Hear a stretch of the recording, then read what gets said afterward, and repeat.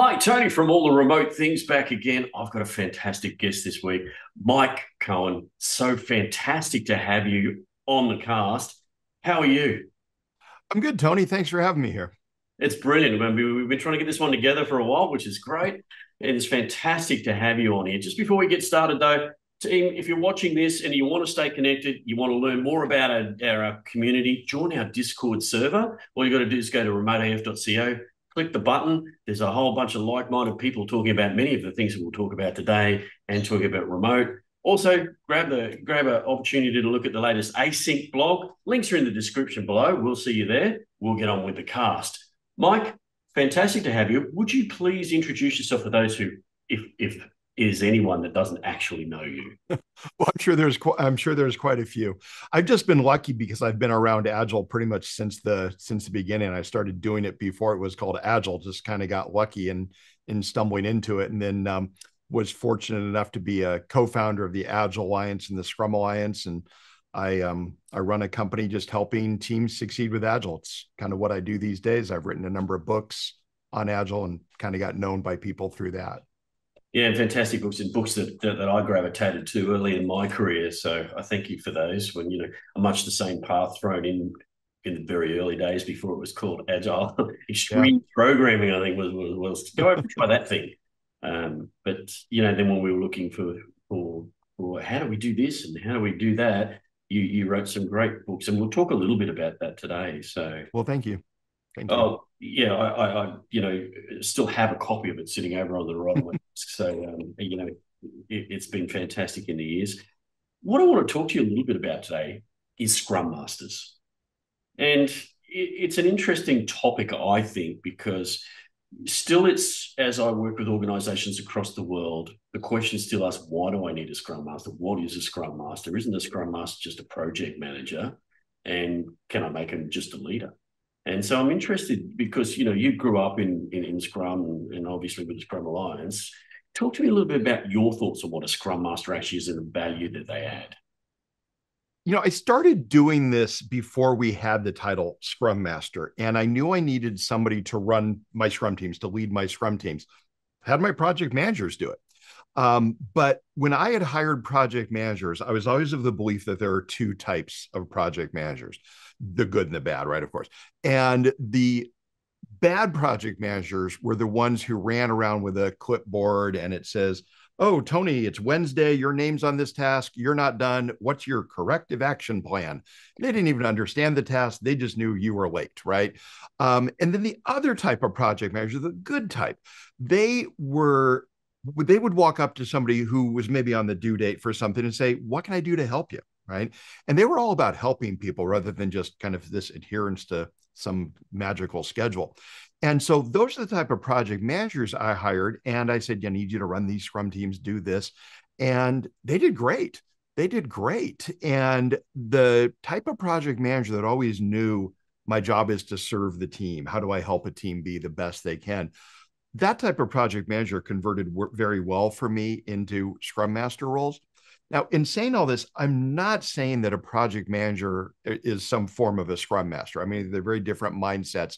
But the people that know that their job the managers that know their job is to help a team those guys make great scrum masters. And so a scrum master is somebody who helps the team achieve their best. They help them be the best they can. In extreme programming which you mentioned a moment ago xp they had a role of the coach and the coach was there to help help a team be the best it could. And so scrum master is really largely the same. And i think it is a hard thing to explain to people. When i teach it in classes i actually have this one slide where i have 10 different pictures of what a scrum master is. And there are things like an orchestra conductor there gandalf from lord of the rings yoda from star wars um, a mechanic a golf caddy and we talk about it in classes like, why do each of these things represent one aspect of a scrum master? And I think if I have to, if I have to put up 10 pieces of art to represent what a scrum master is, that does mean it's hard to, to get our heads around that role. By the way, one of the pieces of art is um, Snoop Dogg, the rapper Snoop Dogg. So I actually use him as a as a representation of one aspect of what it's like to be a scrum master. Yeah. Uh, I'm just trying to figure out where that where, where that that fits in. well, here's the thing. I sent my artist again. These are slides in my class. I sent my artist a list of nine things. I said, "Draw me a golf caddy, mechanic, etc." And he sent back ten pieces of art. Right? I didn't ask for ten. I asked for nine. He sent back ten, and he sent back Snoop Dogg for free because I just tossed in Snoop Dogg. And I said, "Why? Is he because he helps an agile team kind of stay chill, calm under pressure?" And he said, "No, isn't you know isn't Scrum all about collaboration?" He said, "Snoop Dogg's the master collaborator. He's on everybody's records. He cooks with Martha Stewart. So I left Snoop Dogg in my slide representing that a Scrum Master is there to help encourage us to collaborate. So that's brilliant. I was sort of getting down the chilling sort of. yeah, that's that's what I thought. Keep us calm. So one of the things I, I, find a problem with now, though, is is that you know there are different um, scaling methods, shall we say, and and so yeah. all of the different scaling methods, they tend to call them different things, and and so now we have you know, um, perhaps you, you might call them an RTE, or you know, I'm, I'm not poking at those, but I'm just saying. So, so the, the whole Scrum Master word seems to be something that people gravitate to. Either they either agree with it or they disagree. It's very polarizing. What are your thoughts on that? You know, when the term started, it it was meant to be different, and because we didn't want to just you know call it a project manager, even though it overlaps. Again, it's different, but there's overlap it needed to be something different or people wouldn't change their behavior enough. And I experienced this with one of my early project managers who I said, I need you to run the Scrum team. Uh, he was brilliant, classically trained project manager, Harvard MBA, brilliant guy, but he failed miserably at being what today we would call a Scrum master. And he, it was entirely my fault that he failed. We bought his company, and I said, You're going to run Scrum now instead of your waterfall process. I told him what it was all about, got him trained. He was on board, fully on board with it, but he fell back into his old habits. And it was my fault because I didn't change enough of his job. He had the same team, the same office, the same title. And so he just fell back into habits of being a little too directive. And um, the Scrum Master title was meant to be oh, I'm a Scrum Master. I have a different title. I must behave differently. And so it made people think when when it was new it made people think about it. Now there's so many misperceptions about what a scrum master does. And i mean i worry about people hearing me and misperceiving that oh it's just a type of project manager. It's not. It's just you know there's it's like saying an athlete in in basketball and an athlete in, in football right? They're both athletes but they're very different and so it really does create a lot of confusion these days because there's so many misperceptions of what a scrum master should do. To that point, I think you know to help anyone who's watching this, if I said to you, you know, what are the the the, the real key things that a scrum master does that that you know um, sets them apart from the other roles? Mm-hmm. What would um, basically, you know, we go back to the idea of being a servant leader, which is a term that comes from Robert Greenleaf um, back in the 70s and being there to serve the team and doing anything they can to help a team. That means, you know, anticipating problems, fighting battles for the team, doing anything like that to help them be the best they can. A problem with that is a lot of scrum masters kind of decrease their value by just kind of shifting into purely facilitator mode. Yeah. And it's like, oh, I facilitate our meetings or I take the notes, I do things like that instead of really trying to fight bigger battles, organizational impediments that are really slowing a team down. Um, and so a good scrum master is proactively seeking out ways to help that team be successful, looking for ways to to improve their productivity. Um, and pushing teams. One of the classic examples we have with scrum masters is they're they protect the team, right? So they protect the team from the boss that wants to redirect them or steal team members. And a classic example is to say we also protect teams from product owners who are pushing for too much. Totally buy that. Totally buy that. It's a great example. We protect the team from overbearing product owners. But Scrum Masters should also protect the team from complacency. And I sometimes get in trouble or criticized for this, but if I'm working with a team that is just, you know, been doing the same amount of work for a year and it hasn't really improved, that's not a very agile team, right? An agile team wants to get better for their own sake, right? I mean, I just want to be, I just want to see how good we can be as a team. I want to uh, just the challenge of continually improving.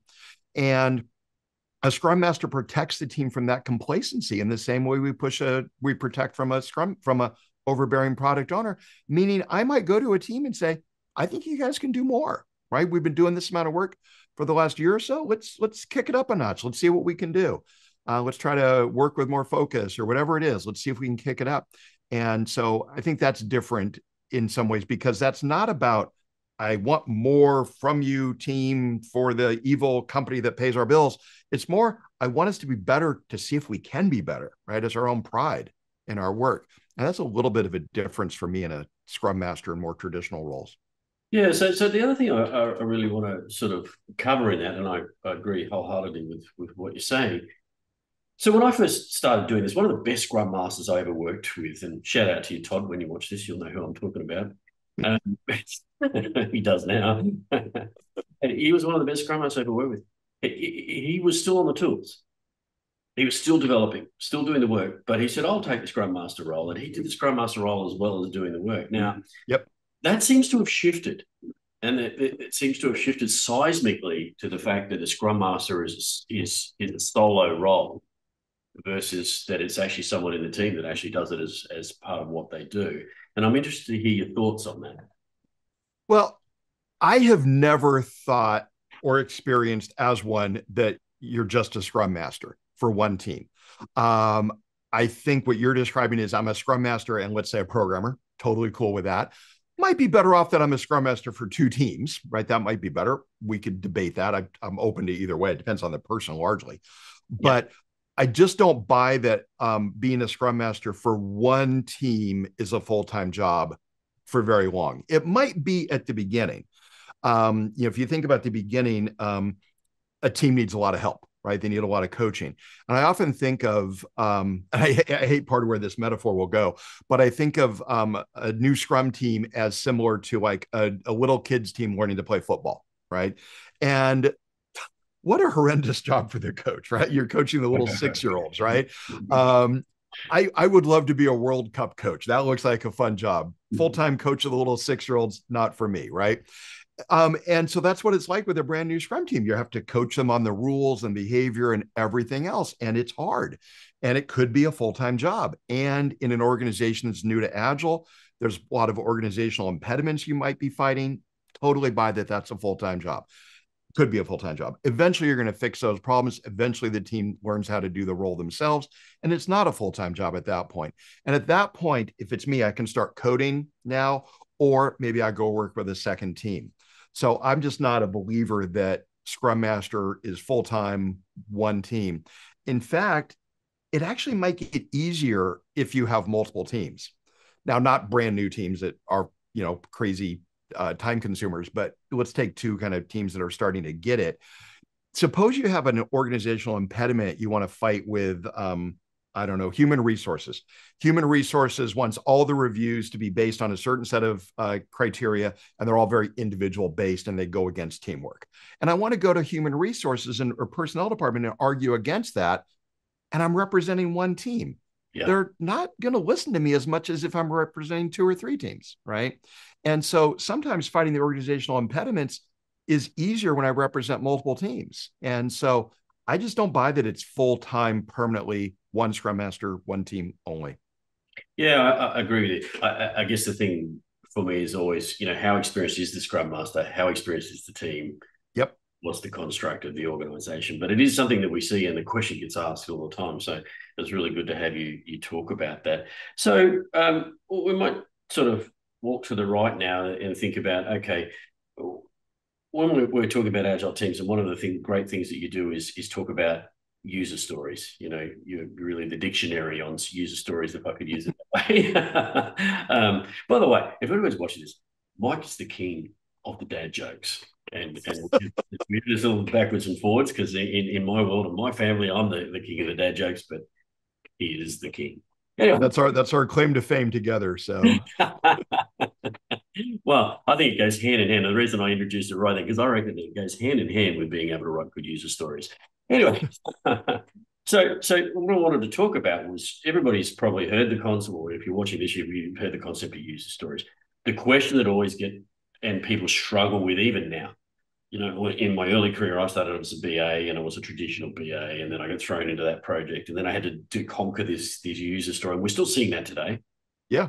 and even when you've been doing it for a while, it's about how do you write better user stories and how do you make those stories actually useful to the team. And, and I'm really interested to hear because I know that you've been doing a lot of that lately. yeah, we've been doing a, a class on better user stories, a Zoom class on that, just because I do I do see it as a constant struggle with teams.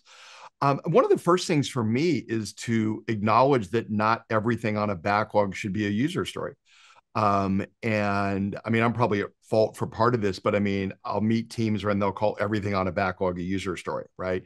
And some of the things on my backlog are things like upgrade the Linux server. That's not a user story. It's just, you know, upgrade the Linux server. Um, or fix the bug when the user enters a negative value in this field, right? And those don't have to be user stories. So user stories, I think them two ways. They're a promise to have a conversation, right? So we write it down and we're basically telling the stakeholders or users, we're not going to build this thing until we talk to you and get more detail, which means they don't have to give us all the details up front. And then, second, I think of them not as a requirement. People will talk about user stories are the requirements. I don't think of them that way. I think of them as pointers to the requirements. And they can very often just point to a conversation. I go to the customer and I say, What do you want? Okay. So it pointed to the conversation. Other times it might point to a an Excel spreadsheet saying perform the calculation this way. Here's some samples. And so pointers to requirements and promises to have those conversations. And when we acknowledge that, it helps us lighten up and not worry about writing the perfect sentence or having everything on the backlog be a user story. It's a, it's an interesting because I, I, I hear a lot of people talk about it. One of the ones that I hear, you know, wow, the user story has to be it has to be a verb, it can't be a noun, or it has to be you know. So oh yeah, and, and people get confused, right? And then they go, "Well, what am I supposed to write here?" And then the other the other derivative that you see is it's got complicated. So you know, user stories now. The user story has to as if and the etc. And now I have to have acceptance criteria, and I have to have a definition of ready, and I have to have a definition of done. And it, it's interesting that you say keep them simple. your thoughts on that? Yeah, I liked use cases, switching to use cases here for a moment. When use cases first came out, we were we both know Alistair Cockburn, and he wrote a really good book called Writing Effective Use Cases.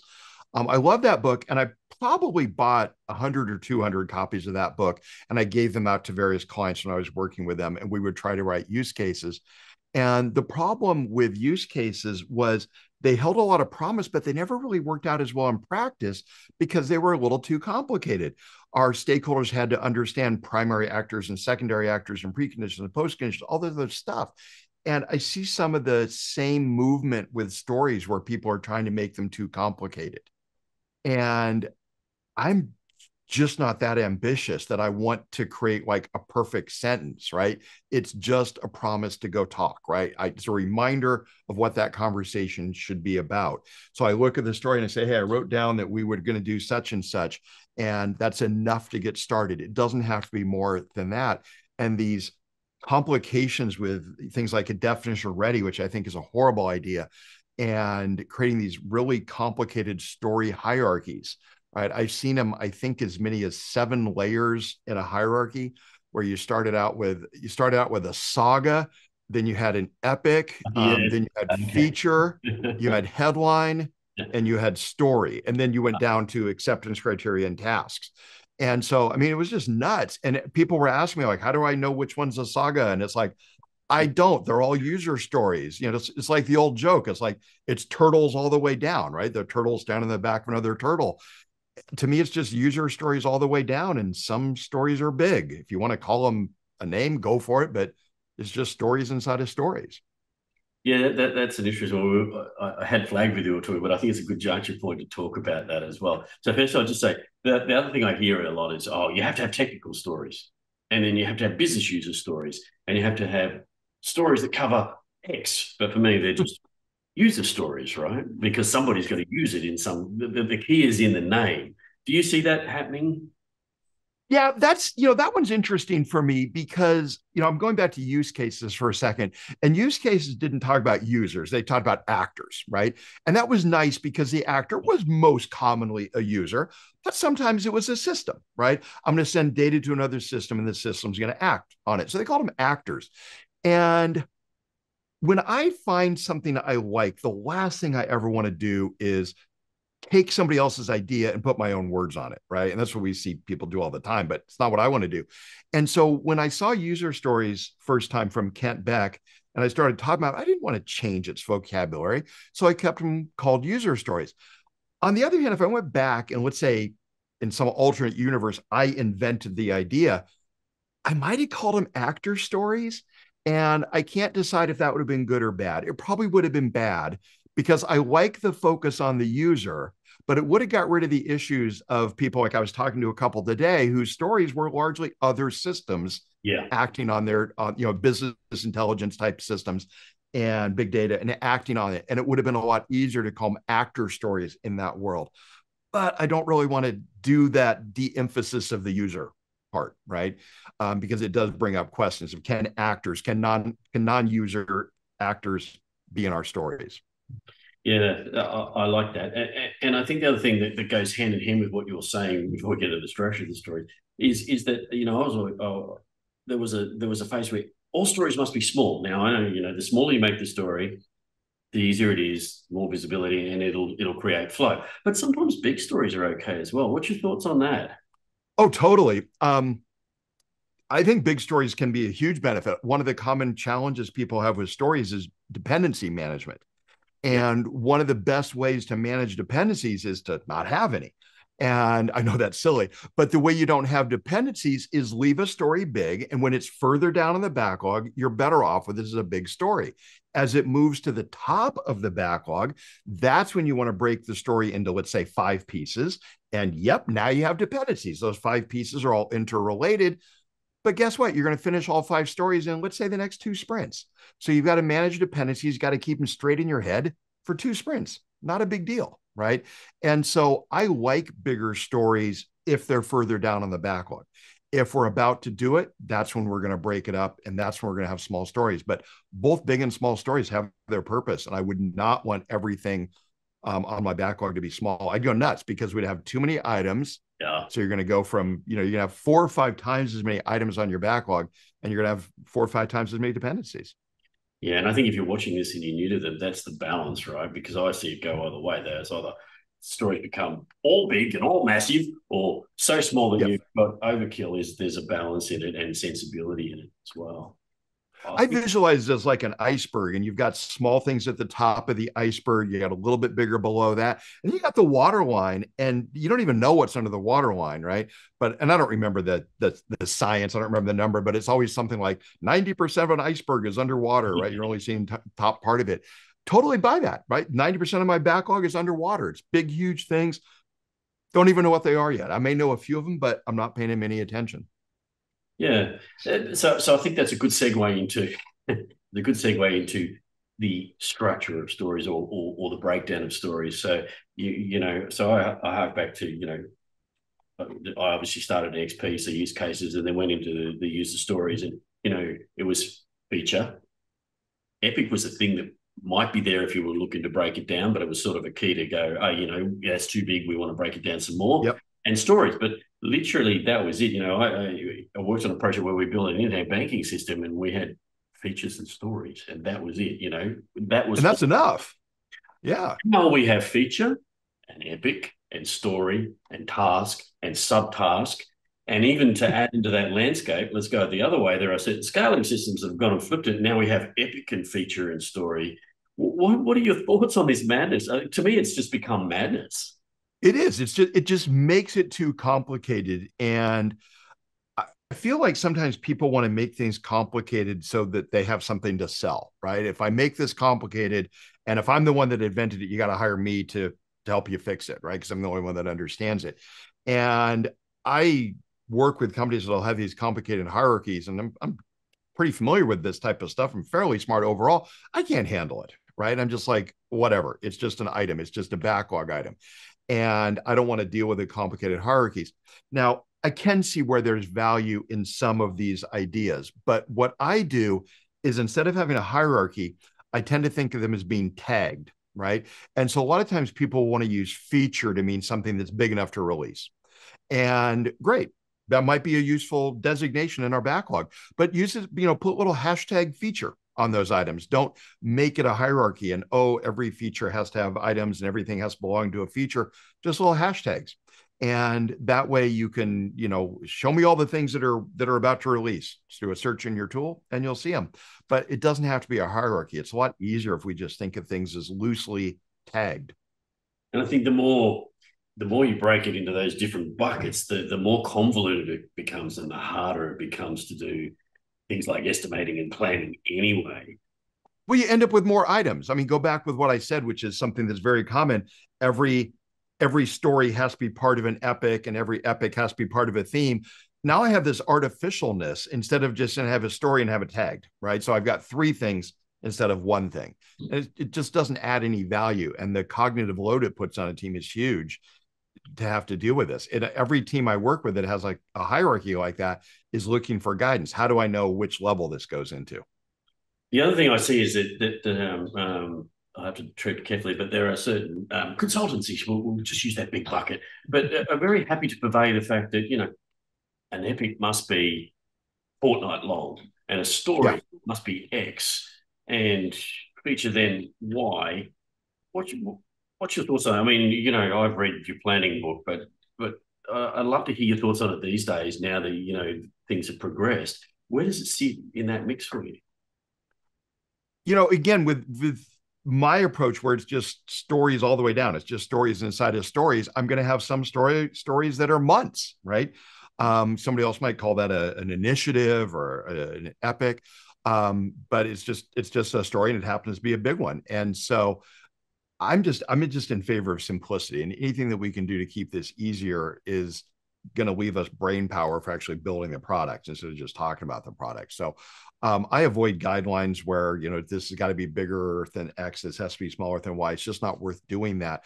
I do want small things at the top of the backlog. I do want big things further down, but I don't really want to put restrictions um, or even kind of targeted sizes on those. I might have a target size for you know nothing bigger than X comes into our sprint, but that'd be about the only limit. Yeah, that's that's a reasonable limit though, right? Because yeah, you're just going to blow your sprints to to yeah to daylights, right? Um, it it leans into estimating and and and and planning um, and story points. So I'm going to tackle tackle, tackle the contentious story point question. um, we see now that story points. When I first learned story points, they were nothing more and nothing less to allow the team to understand their ability to deliver to their demand and to deliver to what they understood as their ability to deliver, right? They become yep. industry now. So story points, let me just go through a couple of things. Story points are used to create velocity, which is then used to match against other teams, and your velocity should be the same as their velocity and their story points. Um, worst thing I've ever seen, personal story points. So yeah. you have to be able to you have to be able to deliver five story points. Um, offshore or distributed teams, or however you want to use that language, they have to deliver 33 story points in a sprint to be paid. Yep. What's your thoughts, Mike? What talk to me about that because you've seen it from the beginning to now. Yeah, I see the I've seen those same dysfunctionalities, and often my message to some leader, manager, director in those type of companies is look, you can use these that way, but what you're going to do is you're going to ruin the best way you have for having a team estimate their work. Um, when you tell a team you've got to deliver 33 points or you don't get paid, and I've seen the same thing, they're just going to start to inflate their numbers, right? And they're just going to make sure they're going to be very conservative. So they'll make things a little bit higher and they will hit 33. It might be what they previously would have called 20, but they will make that number. Um, and that's pointless. It's just absolutely pointless. And what we do when organizations do that, just ruin what would otherwise be a really good way to estimate. Um, I have been obsessed with estimating since 1998. Um, I worked at a company and I, I was a, the VP of software development. I had this really cool boss, the CEO, who was cool in the sense that he knew not every project would be successful, not every project would be on time. And what this allowed me was time to experiment, the opportunity to experiment on products. And I had my various teams each estimate a different way. The only rule we had was you cannot estimate your project the way of any other team. And so we had teams that were doing what's called parametric estimating, right? Figure out parameters, multiply them all together, get an estimate, possibly a good approach. We had other teams doing times. We had other teams doing checklists. We had teams trying with story points um, a little bit later. And as a project finished, a team would start its next project. Again, they had to find a new way to estimate. It couldn't be their exact previous way. They had to tweak it a little bit. And what this led to is a very cycling, very fast cycling through of ideas. And we kind of uh, coalesced around story points, this kind of abstract relative way of estimating in um, early 2000 2001 by then that was starting to be the way we did it because other approaches were not as successful and so when organizations introduce these dysfunctionalities you're describing, we ruin what could be their best way of estimating. And all we get is one more way to yell at a team, right? You know, you didn't deliver me enough work. I'm not going to pay you, right? You didn't deliver me 33. I'm not going to pay you, right? It ruins it. Uh, uh, and whilst those ones I find easy to deal with, and for the same reasons you talk, like when I say easy to deal with, easy to talk to people about, say, this is why you should not do this. And yep. The one that really uh, uh sort of sticks in my craw, if you like, is is this this creation of velocity, and then saying that team should meet this. You should all be the same velocity. Yeah. So velocity match. I find that so detrimental. What's your thoughts on how would you talk to someone about that? Because I know there are a lot of other people have that conversation as well. I a lot of times I have that in terms of a sports analogy, and I'm not a big fan of sports analogies because who knows who likes a sport, you know, thing like that. But this is an easy one. So I'll just go to somebody and say, pick your favorite sport. Should all teams in that sport score the same number of points every game? Right. Um, no, right. Some are better, some are worse. Um, some are playing with an injured superstar, some are not. And so I don't look at that and say everybody should score, you know, two points or a basketball game, everybody should score 97 points. And most of them will get that and then understand, okay, well, when I have different teams, yeah, that team is they're higher paid. They got two really good people on there. They're going to outperform, right? Um, and maybe we could look at that a way a sports team looks at it and goes, uh oh, you know, for what they're getting paid, that team is delivering more than this team or something in some cosmic sense, perhaps. But the problem is it's very hard to estimate work meaningfully in a meaningful way. And we would have to we would have to standardize on the story points. And that's just not effectively going to happen in an organization. What your team calls one point is not going to be what my team calls one point. We can try to get there and i have seen it done. I've been part of that where we get it done but only in kind of limited senses. You know maybe five to seven teams very high trust environments where we could all agree we're going to estimate with the same scale. Yeah. Um, but when we get bigger than that, we start to bring in, you know, we don't trust management to not abuse these numbers and things like that. Yeah, I talk about talk about you can standardize the scale, but you can't normalize it. I guess is the point, right? Right, right. Which is the the differential in that.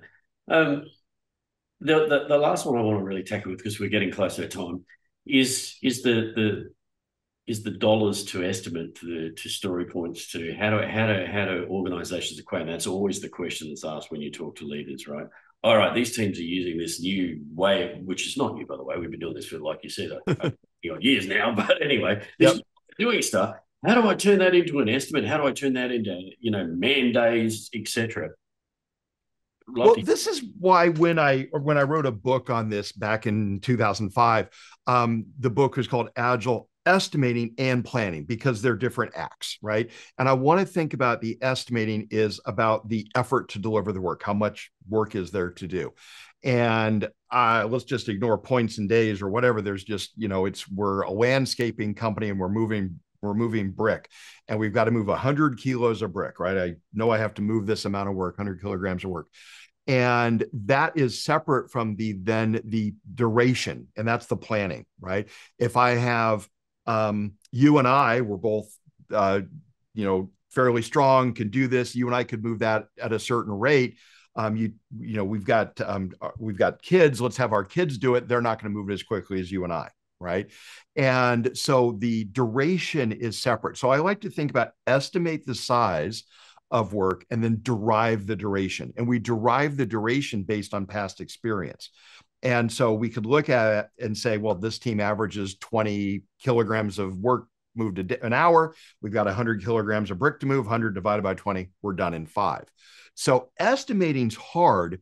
The planning isn't necessarily hard because we can base that on data. And in the example I just gave, it was literally nothing more than math. In terms of turning it into uh, an amount, a, a, dollar or euro amount, it's actually pretty straightforward. What I have teams or organizations do is look at how much they paid, and let's make it easy. One team, how much did we pay a team over the last month or year? And then divide that by the number of story points that we delivered in that year. Just did this in January with a team. And they had, um, I don't remember the numbers, but they had delivered, let's say it was um, uh, uh, 300,000 um, paid $300,000 to the team and they delivered um, a thousand points, right? Divide that out. We get 300,000 divided by 100, we get $3,000, right? And so their cost was $3,000 a point. Now, that doesn't mean I can go to a team and give them $3,000 and I get one point back, yeah, yeah. right? But on average, that was their number, right? And in a meeting about two weeks later, they um the team presented something to the product owner and they said it's going to take um I think it was eight points he goes, huh, $24,000. No, I don't want this. Let's not do this. Right. And so that let him have a dollar amount in his mind for when he was looking at things.